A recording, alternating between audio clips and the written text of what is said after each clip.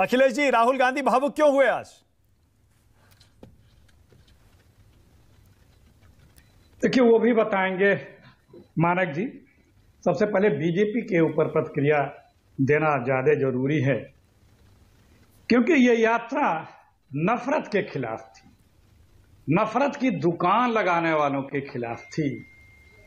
तो नफरती, जो नफरत की दुकान लगाते हैं, वो बौखला गए हैं। वो परेशान है कि मेरी नफरत की दुकान अब बंद होने वाली है, बंद हो रही है। तो वो अब उसे तरह तरह का नाम कंफ्यूज बता रहे हैं। कंफ्यूज राहुल गांधी नहीं है। आप और आपका नेतृत्व फ्यूज है, जो इस देश को कुछ भी नहीं दे पा रहा है, अंधकार ही दे रहा है। सिर्फ़ झूठे शब्द भाग दिखाते तो ये नफरती लोग की दुकान बंद हो रही है, इसलिए ये बौखलाए हुए हैं। क्योंकि नफरत के खिलाफ ये यात्रा थी। अब देखिए मानक जी, पाँच महीने यात्रा चली। जब कोई बड़ा नेक कार्य होता है तो तुलसीदास जी ने लिखा कि खल करी है उपहास।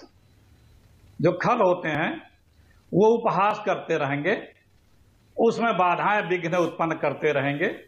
लेकिन दृढ़ी तपस्वी सत्य मार्गी, वो अपना लक्ष्य की तरफ़ बढ़ता जाता है।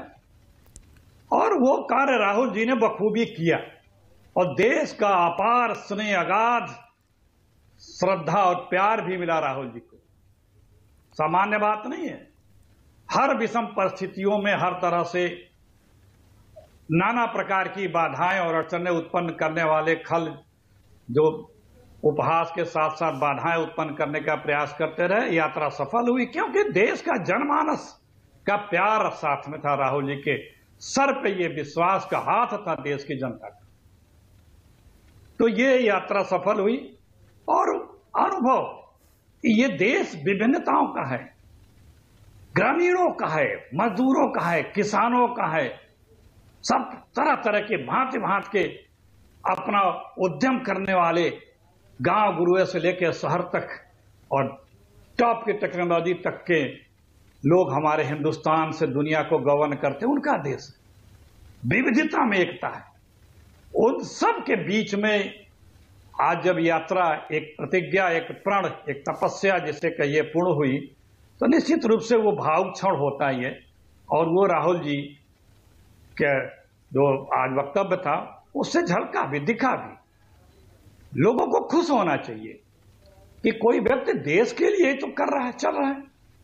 लेकिन जिन लोगों को जिन लोगों को नफरत की दुकान से अपनी दुकान सजानी है ओके अखिलेश जी अच्छा मैं चाहता हूँ कि अब जब यात्रा खत्म हुई है आप थोड़ा सा ये भी बता दीजिए यात्रा से मिला क्या?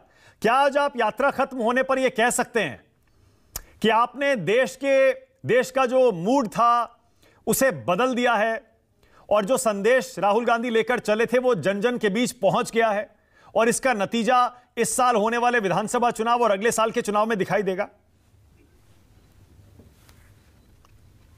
देखिए शत प्रतिशत यात्रा अपने लक्ष्य में कामयाब रही है, क्योंकि जो संदेश देना था, इस देश को जागृत करना था, नफरत और विभाजनकारी नीतियों को करने वाले लोगों के मंसूबों से जागृत करना था। हम सब मिलकर रहेंगे, एक रहेंगे। सब लोग एक साथ चलेंगे। कोई किसी में बैर, राग, द्वेष नहीं रहेगा। और ऐसे करने वालों से हम बचते रहेंगे तो हमारा देश सरकारें आती जाती रहेंगी। हम सब, हमारा देश आगे बढ़ेगा। यही लक्ष्य था। हम कोई अगर विपक्ष में है, आज कोई सत्ता में है, कल वो विपक्ष में होता है दूसरा सत्ता में होता है। लेकिन वो जहाँ भी रहता है, वो देश के लिए ही सोचता है। तो आज हम भले विपक्ष में हैं, अगर हम कुछ कर रहे हैं तो देश के लिए की राहुल गांधी ने यात्रा की। और इस यात्रा से सबने, सब लोगों ने महसूस किया। हमारी विविध विचारधारा से विपरीत लोगों ने भी, जो हमारे कट आलोचक हैं और जो हमारे कट विरोधी विचारधारा के हैं, उन लोगों ने भी इस यात्रा और इसके एजेंडे और राहुल गांधी के इस तपस्वी स्वरूप को और इस कृत्य को सराहा है।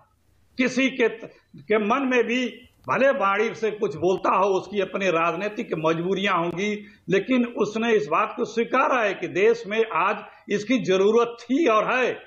इस देश में जिस तरह से कटुता द्वेष बढ़ता जा रहा है बांटो राज करो विभाजनकारी विचारधाराओं को बल और प्रश्रय मिल रहा है इससे क्या हमारा देश मज़बूत होगा? नहीं होगा। ओके।